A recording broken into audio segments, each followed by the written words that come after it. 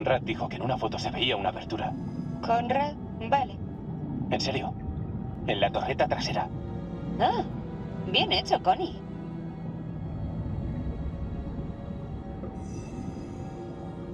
La torreta, entremos por ahí.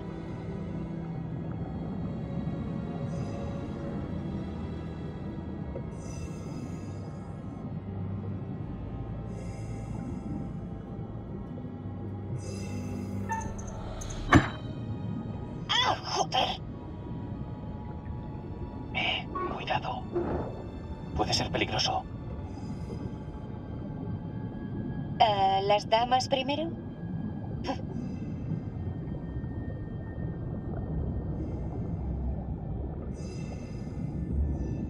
¿Puedo pararme un segundo a decir, joder, Alex, lo hemos logrado? ¿Te lo puedes creer? Es un sueño hecho realidad. No perdamos tiempo de explorar.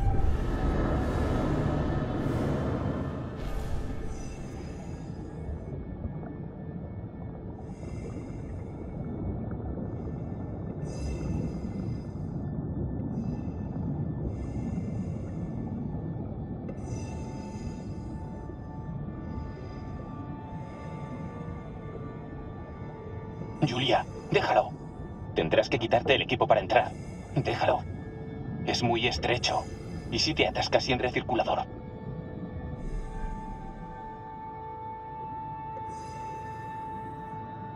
Pues igual es peligroso.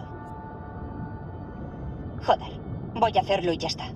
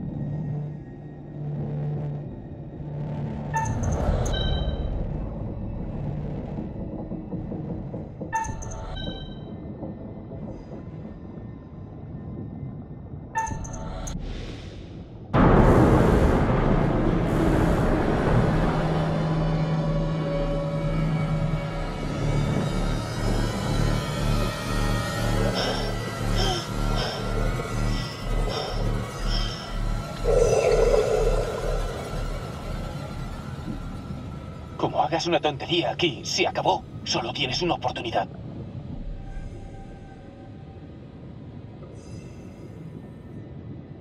Tranquilo, estoy bien, ¿ves? Todo ok.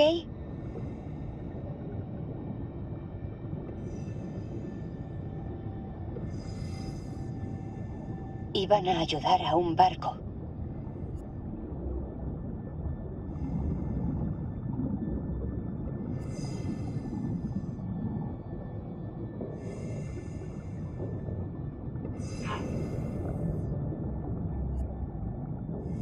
¿Balazos?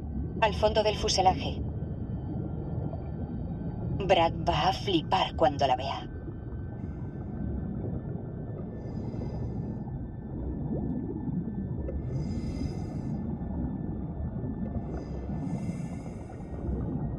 Mira.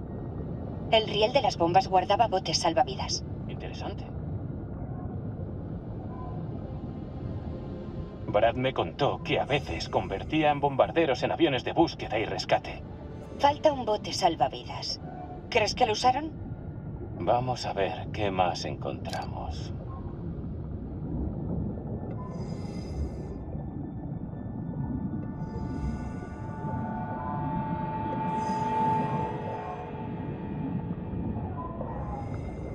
¿Has oído eso?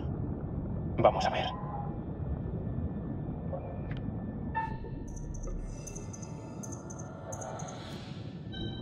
Vamos.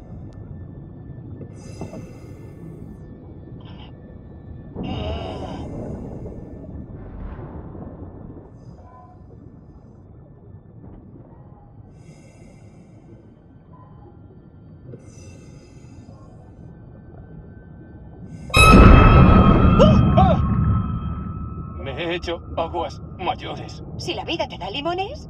Ah.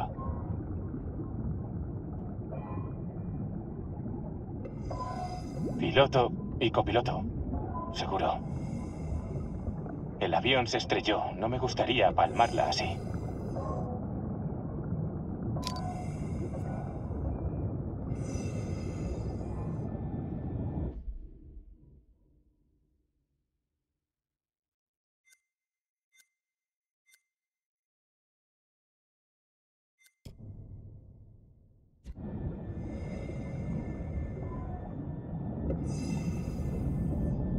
Cuidado. Todo esto lleva mucho tiempo aquí. ya, ya, ya.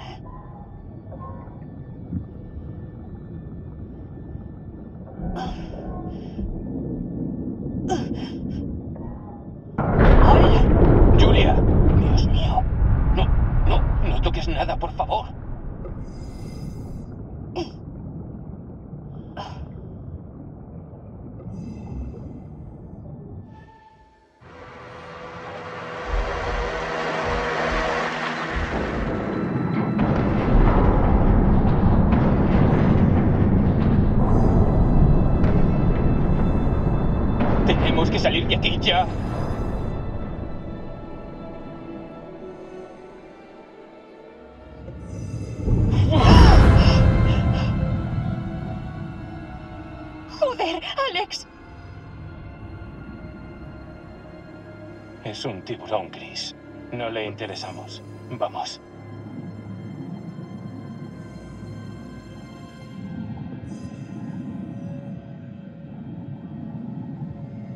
Espera. Eh, vale. Oye, ¿Qué haces? ¿Qué te pasa? em, no sé, es que em, quería hablarte de algo, pero no es el mejor momento.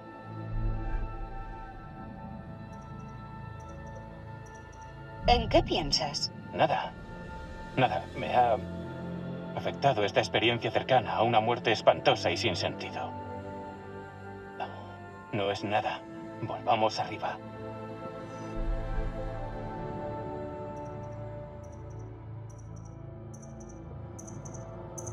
Oye, en serio, ¿qué pasa? Nada.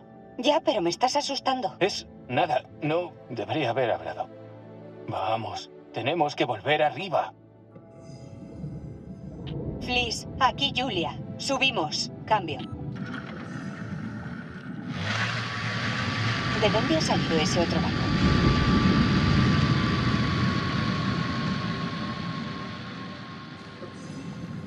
Espera. Julia. Antes va la descompresión. ¡Hostia! ¡Hostia! ¿Qué coño? Tenemos que subir. ¡Eh! ¡La descompresión!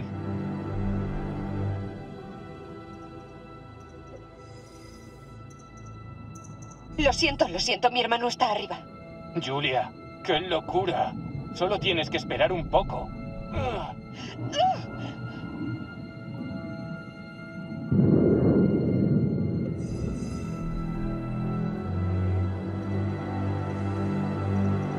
A la mierda, subo.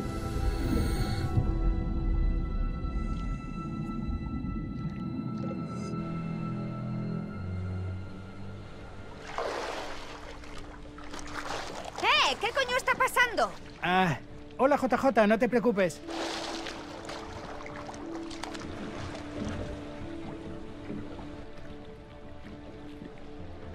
Ah, nada.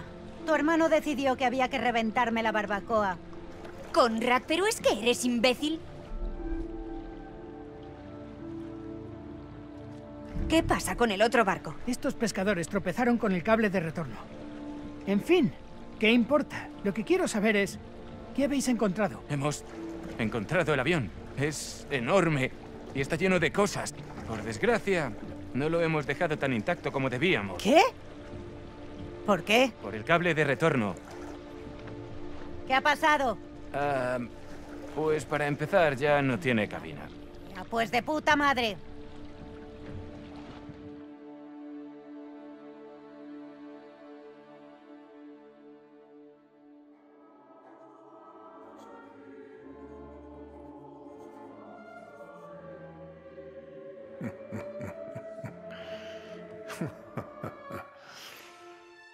Vamos conociendo a los intrépidos aventureros, a Alex y su hermano menor Brad, que intentan nadar con los peces gordos.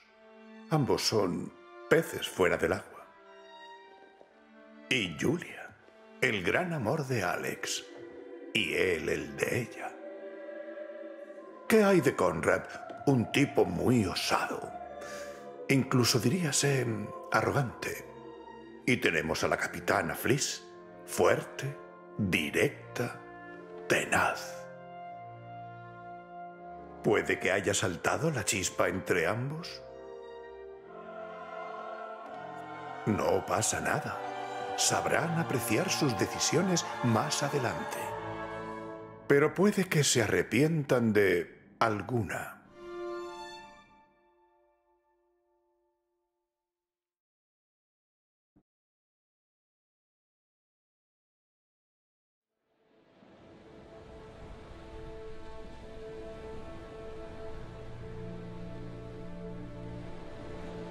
¿Qué tal estaba el avión?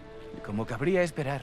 Brad, así. ¿En serio? Pues ha sido como viajar en el tiempo y acabar sin querer en una dimensión en la que el pasado está sumergido y todo está lleno de percebes y tiburones. ¿Tiburones? De arrecife gris. Ah. ¿Eh? Pues me pareció muy fuerte. ¿Conrad no iba a traer más cerveza después de ayudar a Fliss? A lo mejor decidió beber un poco y se emborrachó. Y como estaba borracho, se olvidó de traerlas y siguió bebiendo hasta acabárselas. Parece que ya tienes experiencia con ese tipo de fenómeno. Sí, llevo años estudiando. Voy a ir a buscarlo. Oh, y encontramos una bala incrustada. Huh. La dejé abajo si quieres verla.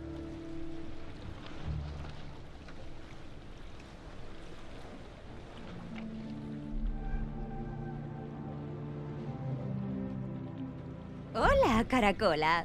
¿Va bien? Perdona, eh, estaba pensando en esa inmersión. ¿Te puedes creer lo que hemos vivido?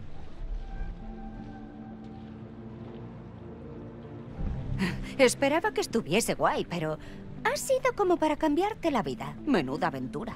Al menos algo de este viaje es memorable. Explícate. Ah, nada. Una mierda. Estás ahí con la mirada perdida en el mar como un zombie y ahora te pones gruñón. Eh, perdona. Dime qué te pasa. Últimamente me he estado preocupando por todo. Por nosotros.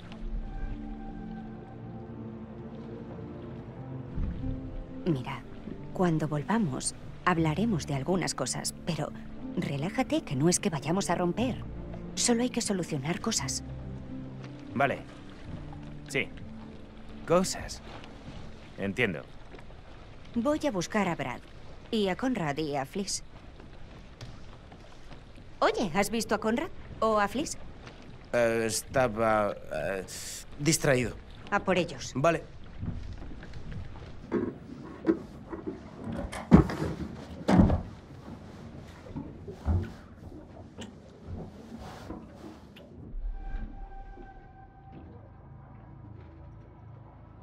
¿Pero qué cojones, Conrad?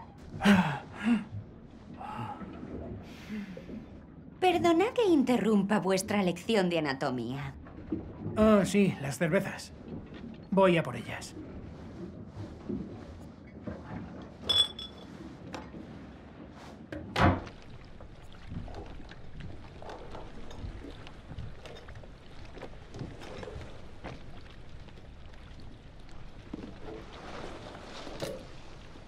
Vale. Ahora que estamos todos, echemos un vistazo a la libreta del piloto. Quizá nos diga qué hacía el avión ahí fuera, ¿Dónde está? en tu maleta. Iré por ella. Oye,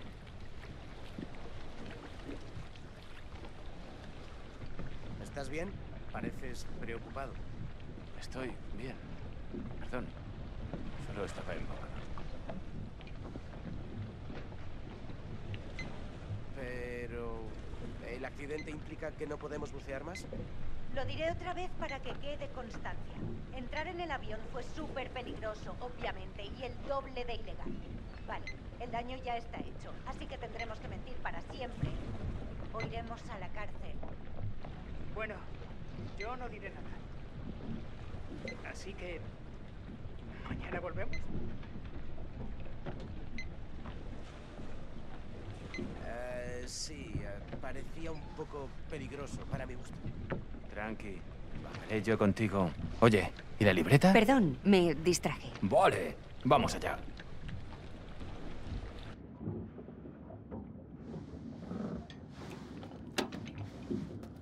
Vale, subamos. Ven aquí, arpía. Cálmate, tigre. Hay que volver. La tengo.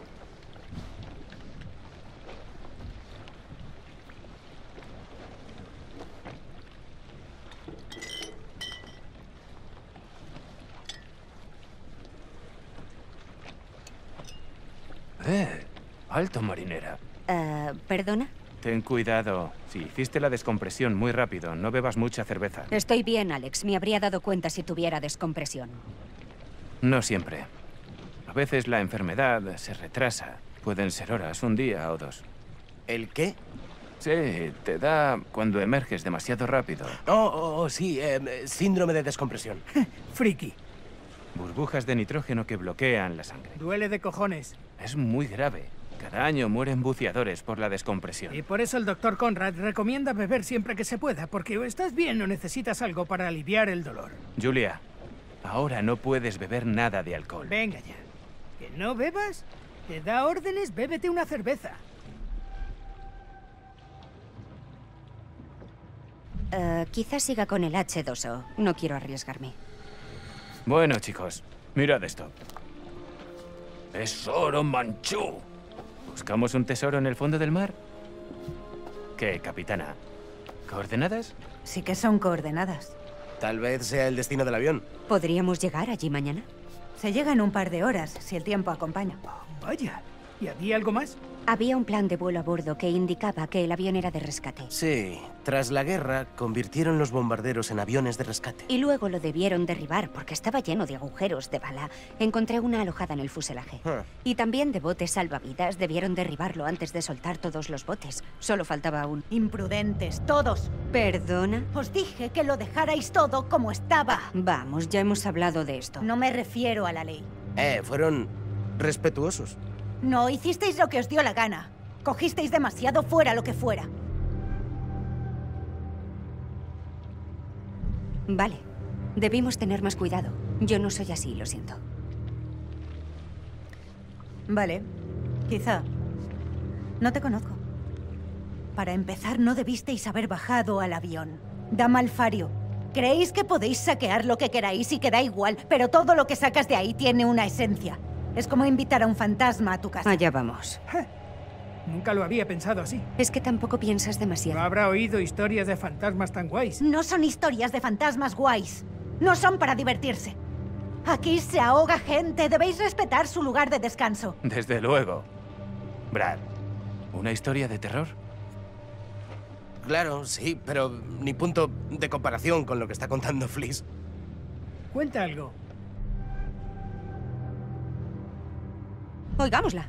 Seguro que cuentas una buena historia. Es un poco retorcida. Danos pesadillas. Vale, empecemos. Esta historia es real. Y pasó aquí cerca, en un viejo faro. Típico. Espera, ¿qué es real? ¿Dónde la oíste? Ah, bueno. Cerca del muelle encontré a un anciano. Tenía la piel muy arrugada, un parche en el ojo y una pata de palo. Por un dólar me contó sus secretos. Vale, allá vamos. El faro estaba sobre un atolón, aislado del resto del mundo, una luz solitaria en la noche, refugio de marineros. El farero solía oír las olas golpeando la costa rocosa. Una mañana nublada se encuentra una mujer cubierta de sangre, tambaleándose en la playa. Socorre a la mujer que cae sobre sus brazos llorando. Mientras la lleva corriendo al faro, le pregunta de dónde es. No pierde el tiempo. Qué listo.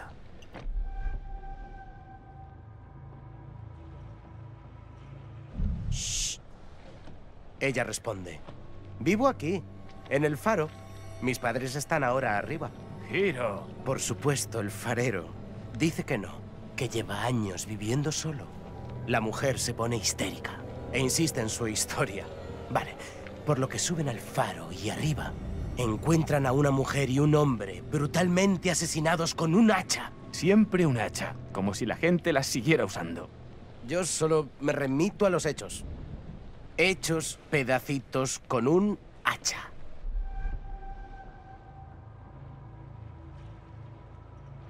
Ya sabes, a veces hay que maquillar los hechos un poco para llegar al fondo de la cuestión.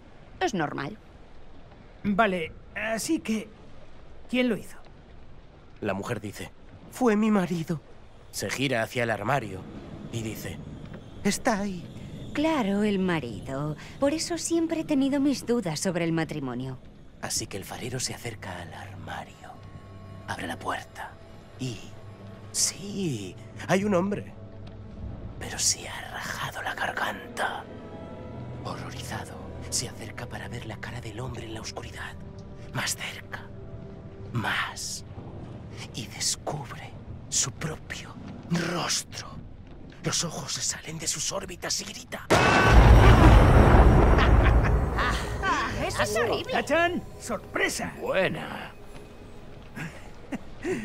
Muy buena.